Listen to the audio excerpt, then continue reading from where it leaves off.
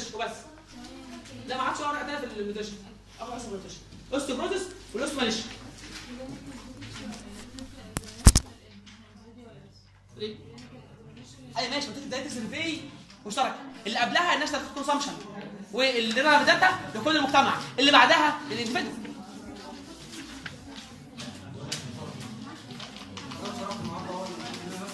تقول إيه؟ بس. من أول صفحه 11 لاخر المذكرة. ده اللي عليه يلا حاجة اسمها ال osteoporosis وال osteomalacia ونركز عشان نفهم الفكرة ونخلص. ال osteomalacia وال osteoporosis ها ركزوا كده. أنا عندي عظمتين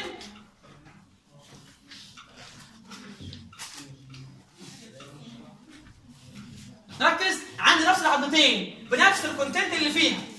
ادي الكالسيوم وال mineral اللي فيها.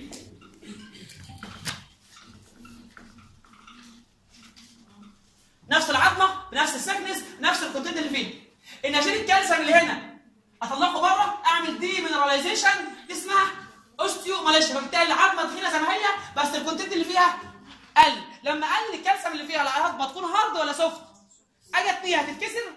لا هتنتني معايا. فسموا الكلام ده ليه لين عظام العظمة دي تنتني معايا. عشان كده مش هيحصل لها fracture طب الناحية الثانية نفس العظمه بالظبط بس جبت منشار وجبت حتة منها فشكلها عامل كده. العظمه رفيعة بس فيها نفس ال content. تبقى العظمه hard ولا soft؟ hard بس ما زالت رفيعة. فبالتالي تتكسر بسرعة تخيل ال femur بتاعتك بقى شبه ال tibia أو شبه شبه ال fibula أو شبه ال ulna أو شبه ال radius الحاجات دي. تتكسر بسرعة. فبالتالي العظمه دي زي ما هي بس قللت ال thickness بتاعتها مش كده؟ شبهتها المرة اللي فاتت قلنا لو حد عايز يعمل صينية كيك قلنا كده نحط لها نص كيلو. دي هنحط لها بيضتين وهنحط لها 2 كوب سمنة. مش كده؟ لو رحت انت البيت بتدور على السمنة لقيت في كوباية واحدة. بتدور على البيض لقيت في بيضة واحدة. بتدور على اللبن لقيت في نص كيلو لبن. واحد منكم خد البيض وال- واللبن وحطه على نفس كمية الدقيق. فبالتالي عمل ست كيكة كبيرة ولا صغيرة؟ كبيرة. عمل نص كيلو كلهم. بس ال content اللي فيها قليلة ده القسط معلش. واحد شغل دماغه وشال نص الدقيق. فعمل كمية كيكة صغيرة. بس ال content اللي فيها زي ما هي هي ده ال osteoporosis ال osteomalacia عظمه تخينه عظمه كبيرة بس ما فيهاش كالسيوم ما فيهاش mineral الناحية الثانية عظمه صغيرة بس فيها نفس ال content بتاعها مشكلة؟ سمى الكلام ده؟ softening of bone العظمه بتكون soft لكن دي بيحصل فيها atrophy في بدايه كده. atrophy of bone يبقى دي softening of bone لكن دي atrophy of bone؟ هنا العظمة زي ما هي تخينه بس الكالسيوم اللي فيها قليل فبالتالي سهل انها تنتني. لكن هنا العظمه رفيعه بس مليانة كالسيوم ها مشكلة؟ هنا softening طبيعيه لكن هنا حصل لها atrophy التكمل فالعظمه عضله زي فيها كالسيوم بس العظمه بقت رفيعه ده softening لكن ده atrophy هنا الفكرة الرئيسية في نقص فيتامين D نقص الكالسيوم نقص الفوسفورس. شبه مين؟ rickets ال rickets قلنا ال rickets في الطفل الصغير يجيب rickets في الراجل الكبير اسمه malacia. لكن هنا مشكلة في حاجة اسمها ال resorption بعد ال menopause بيزيد ال activity بتاعت ال osteoclast المنشار اللي بياكل العظم فبالتالي العظمه تبقى ال thickness بتاعها قليل. بيقل ال bone mass وبيقل ال bone density أقل من 2.5 SD؟ عن ال normal فاكرين SD؟ SD؟ 1 SD 2 SD 3 SD. كان abnormal لأكتر من 2 ده 2 ونص. ده قل عن الطبيعي ب 2.5 standard deviation فبالتالي هنا في softening هنا في قال بس على كلمة مهمة. هنا في softening هنا في atrophy هنا المشكلة في ال demineralization كلمة أوست معلش غمض بينكم قول demineralization نتيجة نقص الفيتامين D أو نقص الكالسيوم أو نفس الفوسفورس. لكن هنا مشكلة في ال resorption بيحصل نقص في ال bone mass نقص في ال bone density 2.5 SD من ال reference بقى إيه ال causes؟ في ال osteomalacia 2 على الستات الناس اللي بيحصل لها repeated unspaced pregnancy فتقلل الكالسيوم وتقلل فيتامين D أو الناس اللي عايشه في البيت ال indoor living ما بيطلعوش في الشمس. نقص sun exposure فما حصلش activation لفيتامين D. يبقى هنا 2 على الستات repeated unspaced pregnancy أو indoor living condition واثنين بحرف ال D ال diet اللي ما فيهوش فيتامين D. أو الناس اللي عندها disease زي ال malabsorption أو ال malnutrition أو ال chronic renal failure لما يكون في مشكلة في ال renal failure أو في فشل كلوي الكالسيوم والفوسفورس والكلام ده بينزل فبالتالي ما يحصلوش reabsorption بس هنستفيدش من مكان ال osteomalacia وال osteoporosis هنا في softening هنا في atrophy هنا المشكلة في ال demineralization ان الكالسيوم بيطلع من العظمه بره. نتيجه نقص فيتامين D أو نقص الكالسيوم أو نقص الفوسفورس. لكن هنا بيحصل atrophy بيقل ال bone mass بيقل ال bone density أقل من 2.5 من ال standard deviation الطبيعي بعد كده ال cause هنا 2 على الستات الناس اللي يحصل لها repeated unspaced pregnancy من غير ما تعوض نقص الكالسيوم ونقص فيتامين D. أو ال indoor living ناس ما تعرضش للشمس وبالتالي في نقص في sun exposure ما بيحصلش activation لفيتامين D. واثنين بحرف ال D. الناس اللي بتاكل أكل diet deficient vitamin D أو الناس اللي عندها disease زي ال malnutrition أو ال chronic renal fail أمال الاوستيوبروزس اكتب جنبها بالعربي أدوية واورام وهرمونات. ها أدوية واورام وهرمونات ست كبيرة وشوية عادات عادات أدوية واورام وهرمونات ست كبيرة وشوية عادات أول حاجة أدوية. الكورتيكوسترويد ناس بتاخد ناس بتاخد chemotherapy ال cytotoxic drug الاثنين دول بيزودوا ال activity بتاعت ال osteoclast فبالتالي تاكل في العظم. هو الأدوية زي الكورتيزون أو ال cytotoxic drug اللي هي ال chemical therapy أو ال chemotherapy ادي أدوية. وأورام الناس اللي عندها ال malignancy. زي الليمفوما أو أي ورم في ال kidney و malignancy زي الليمفوما. أدوية وأورام وهرمونات endocrine disease حد يقول لي زي اسأل اسأل الكورتيزون لو خدناه من بره يعمل osteoporosis طب لو طلع من الجسم اسمه Cushing syndrome ال Cushing أو الناس اللي عندها delayed puberty أو hypogonadism يعني برضه مشكله في الهرمونات. فتاني ادويه الكورتيزون و cytotoxic drug وأورام ال malignancy زي الليمفوما. وهرمونات يا إما Cushing syndrome بتاع الكورتيكوستيرويد أو الناس اللي عندها delayed puberty أو hypogonadism ست كبيرة. بعد ال menopause أو نقص الإنتاج. الناس الكبيرة اللي عندهم menopause وأكلهم قليل نقص الإنتاج فيتامين D أو كالسيوم أو فوسفورس وست كبيرة واحدة عندها menopause أو ما بتاكلش نقص الإنتاج بتاع فيتامين D أو كالسيوم أو فوسفورس وشوية عادات الناس اللي بتدخن ال smoking. والناس اللي بتاخد الكحول وال smoking وال alcohol وتاني إيه الأسباب بتاعت ال osteomalacia؟ والأسباب بتاعت ال osteoporosis بتاعت ال osteomalacia قلنا اثنين على الستات واثنين حرف ال D اثنين على الستات repeated أو pregnancy أو قاعدة في البيت نقص ال sun exposure ال indoor living condition. بعد كده اتنين بحرف ال D ال diet ما كانش فيه فيتامين D أو ناس عندها disease زي ال chronic renal failure أو malnutrition.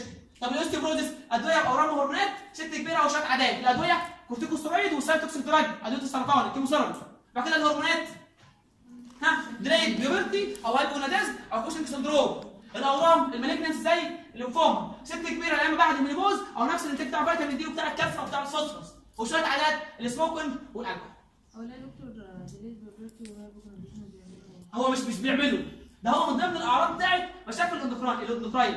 وصلت؟ كاتبينها غلط. هو ال hypogonadism وال delayed puberty مش بيعملوا osteoporosis ده دي symptom بتكون ماشية مع ال osteoporosis الناس دي عندها مشاكل في ال endocrine system عندهم مشاكل زي نقص ال thyroid نقص الكتو زي الكورتيكوستيرويد عندهم مشاكل في الهرمونات. الهرمونات دي من ضمن أعراضها ال osteoporosis ومن ضمن أعراضها ال delayed puberty وال hypogonadism الاثنين دول مش سبب. الاثنين دول من ضمن الأعراض اللي بتحصل مع ال osteoporosis ها مشكلة؟ بعد كده إيه clinical picture الاثنين وجع في العظم وكل واحدة فيها حاجة مميزة.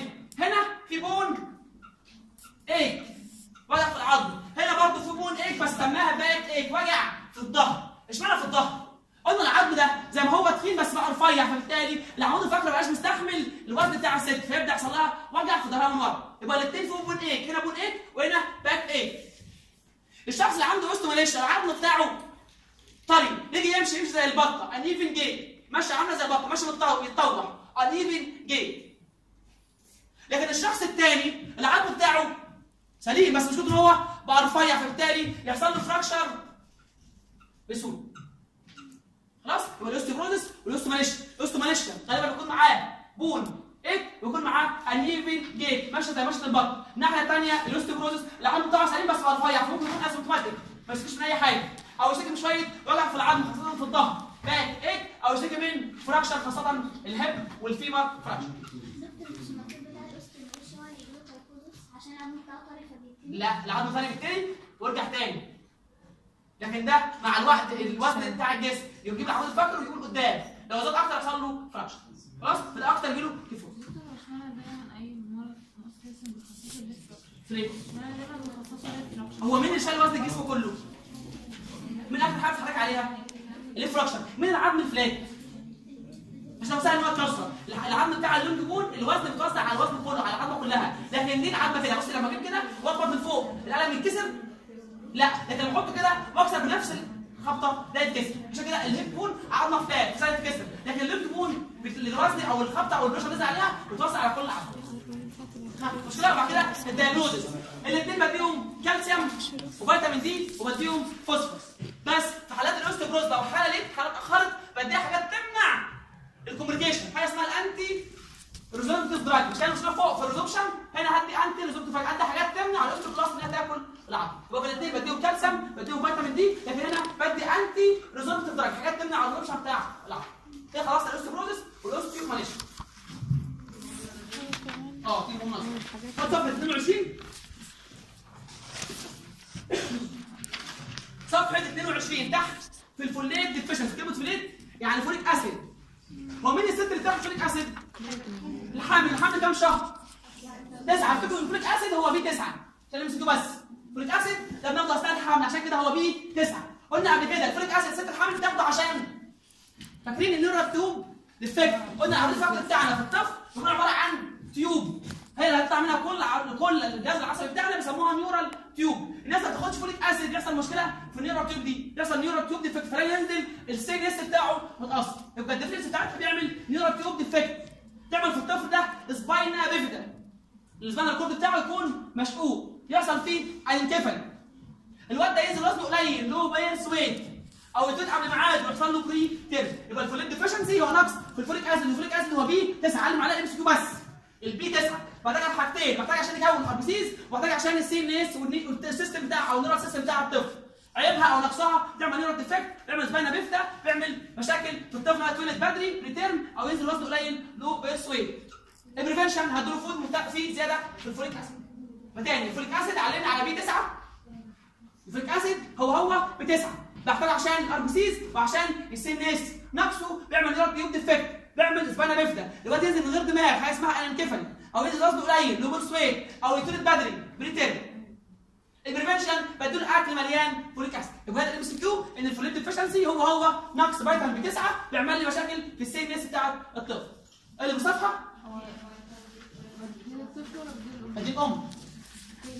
نزل من غيره لا معش نازل بدل خدك كنت الأول معش اللي بصفحة؟ فين اللي فوق لا اشرح بس دلوقتي اللي بصفحه بص مش هلاش حل مسحت كل كان ناقص فيتامين بي واحد. اللي كان اسمه من هناك ال thiamine يبقى البيري بيري نقص في ال thiamine أو B واحد. لو فاكرين كان منه نوعين. نوع اسمه wet ونوع اسمه dry ال dry بيأثر على ال nervous system ال wet كان فيه مية يعمل congestive heart failure عشان كده البيري بيري بيأثر على ال heart ويأثر على ال nervous system يبقى البيري بيري هو نقص ال thiamine أو نقص B واحد؟ منه نوعين wet و dry ال wet بيأثر على ال nervous system وال dry بيأثر وال wet بيأثر على ال heart يعمل congestive heart failure وال dry يأثر على ال CNS أو ال nervous system بس مش عايز معاك حاجة ثانية في البلاجرا؟ فين القدرات دي يا دكتور؟ مش عليكم بس مش مش بكده بس. أنا بأثر على ال nervous system أو على ال heart ال heart كان اسمه wet ال nervous system كان اسمه dry حد عايز يعرفها إيه؟ ال wet وال dry ال wet يعني في مية. يعمل congestive heart failure ال dry بيأثر على ال nervous system.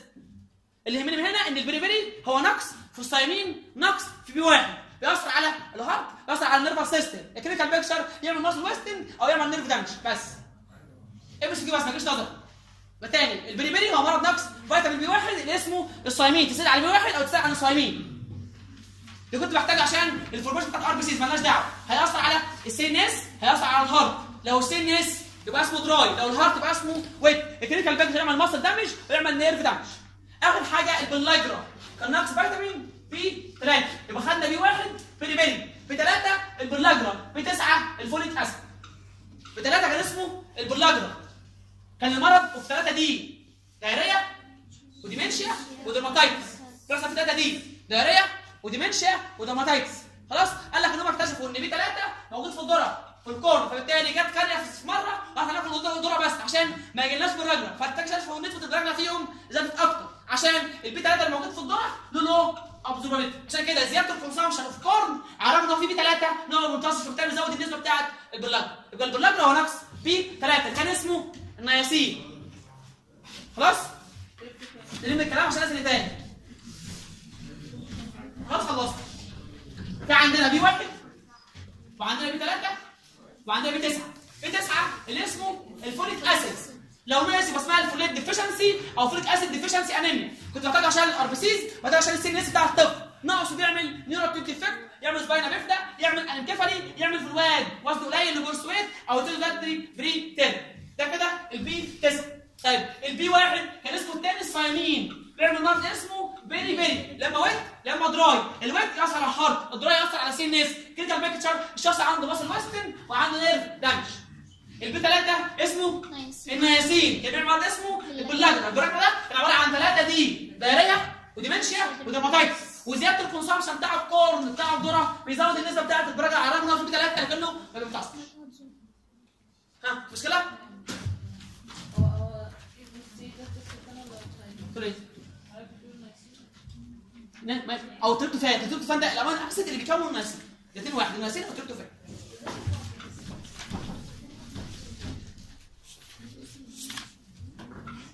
خلاص صفحه سبعه سبعه سبعه أنتوا كده بتخونوا السنين هي ملغيه آه هي ملغيه بس أنا هقول لك وذاكروها وخلاص خلاص تقريبا هيبقى في غدر في الامتحان يلا إزاي بحسب ال energy requirement اللي كانت شغاله طول الحصه ال basal metabolic rate تقول إيه؟ لا. ده امال ال arthropod والحاجات دي. لسه الأسبوع الجاي. آه أنا بقول. يلا. ده هو كلمتين والله ده مش حاجة. ال basal metabolic rate إزاي بحسب ال energy requirement بتساوي صفحة سبعة. ال basal metabolic rate عشان دي في المسائل في العامه والله خلاص ده سهل ما فيهاش حاجة. ال basal metabolic rate بيساوي 9 من 10 في الوزن. بالكيلو في 24 الكلام ده لو female. بيساوي واحد في الوزن. بالكيلو في 24 الكلام ده لو بال male. كمية الكالوري اللي انت محتاجها بتساوي وزنك بالكيلو في 24 لو انت male بضرب في واحد. لو انت female بضرب 9 من 10 ال basal metabolic rate بيساوي 9 من 10 في الوزن بالكيلو في 24 لو كان female بتساوي 1 في الوزن بالكيلو في 24 لو كان male. طيب هو أنا عشان آكل وأستفيد بالأكل مش في absorption في دايجيشن في كمية طاقة بتضيع بيسموا الكلام ده ال SDF ال SDF بتساوي 10% من ال basal metabolic rate تاني ال basal rate بيساوي وزنك بالكيلو في 24 في واحد لو كنت male 9 من 10 لو كنت female. بعد كده كمية الطاقه اللي بتاخدها في ال absorption في الهضم في المادة الكلام ده بيسموها ال SDF بتساوي 10% في ال basal ال metabolic rate عندك مشكلة؟ خلاص بال basal metabolic rate بيساوي وزنك. بالكيلو مضروب في 24 في واحد لو كنت female لو كنت male مضروب في 9 من 10 لو كنت female 10% من ال rate اللي هيطلع لك بيطلع حاجة اسمها ال SDF إزاي بقى بحسب ال energy requirement أنت محتاج طاقة قد إيه طول اليوم؟ ال energy requirement بتساوي ال basal metabolic rate اللي انت حسبته. زائد ال SDF اللي هو 10% من ال basal metabolic rate زائد ال physical activity بتاعك. على حسب هو انت بتكون sedentary ولا بتعمل moderate أو mild ولا moderate ولا high activity لو انت sedentary قاعد في البيت ما بتتحركش بتساوي 20% من ال basal metabolic rate لو انت بتعمل mild activity هتبقى 30% لو انت moderate هتبقى 40% لو انت high هتبقى 50% مش كده؟ وال energy requirement بتساوي مجموعه ثلاث حاجات. ال basal metabolic rate زائد ال SDF زائد ال physical activity ال basal metabolic rate وزنك بالكيلو في 24 في واحد لو male 9 من 10 لو female ال SDF بيساوي 10% من ال basal metabolic rate ال physical activity على حسب. انت sedentary ولا mild ولا moderate ولا high physical activity 20 30 40 50 وإحنا بادئين من 20 مش من واحد. ال moderate 40 مش من 30 خلاص؟ بادئين من 20 مش من 10 ال moderate 40 مش 30 عشان في الامتحان والله تبقى moderate. إيدك هتاكلك تبقى 30 ما أعرفش ليه. ال moderate 40 مش 30 بادئين من 20 مش من 10 sedentary mild moderate high. 20 30 40 50 إزاي very high 30 diet آه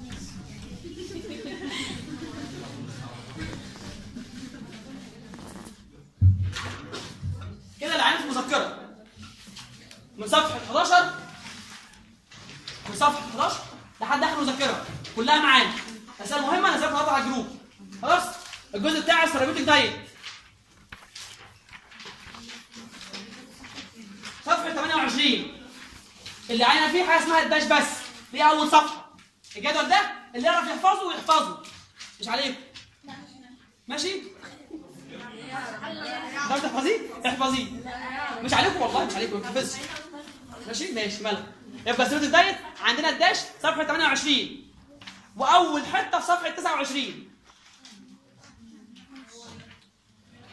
خلاص؟ ده تبع ال DASH. تكملة ال DASH. بعد كده مريض ال heart disease مريض ال diabetes مريض ال renal ناس عندها GIT وناس عندها cancer. الكلام ده ما يجيش طبعا نظري.